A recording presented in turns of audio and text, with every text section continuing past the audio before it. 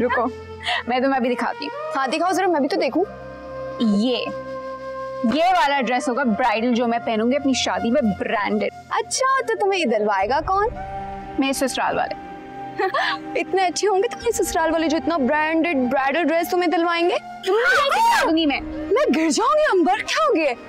इसलिए तो मैं फेंक रही हूँ तुम्हें नहीं बताया कि तुम अडॉप्टेड हो